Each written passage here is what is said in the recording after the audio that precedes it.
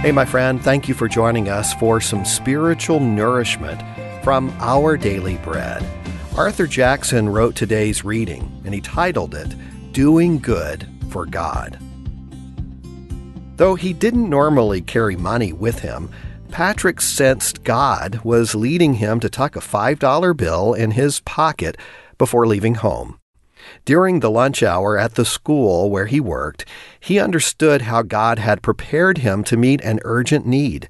In the midst of the lunchroom buzz, he heard these words Scotty, a child in need, needs $5 to put on his account so he can eat lunch for the rest of the week. Imagine the emotions Patrick experienced as he gave his money to help Scotty. In Titus, Paul reminded believers in Jesus that they weren't saved because of righteous things they had done, but they should be careful to devote themselves to doing what is good. Life can be full, extremely busy, and hectic. Attending to our own well being can be overwhelming. Yet, as believers in Jesus, we're to be good works ready.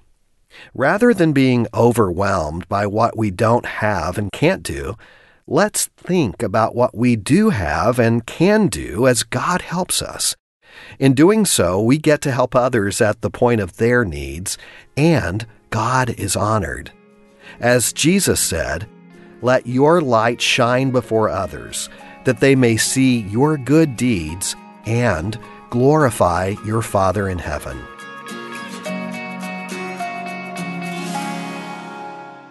Today's Our Daily Bread devotional scripture reading is from the New Testament book of Titus, chapter 3, verses 4 through 8. When the kindness and love of God our Savior appeared, He saved us, not because of righteous things we had done, but because of His mercy. He saved us through the washing of rebirth and renewal by the Holy Spirit whom he poured out on us generously through Jesus Christ our Savior, so that, having been justified by his grace, we might become heirs, having the hope of eternal life. This is a trustworthy saying, and I want you to stress these things so that those who have trusted in God may be careful to devote themselves to doing what is good. These things are excellent and profitable for everyone.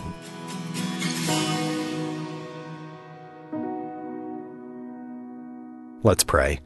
Dear Father, would you please forgive us for the times that we've simply ignored the opportunities that you've given us to do good? And would you help us today to be available to others that are in need?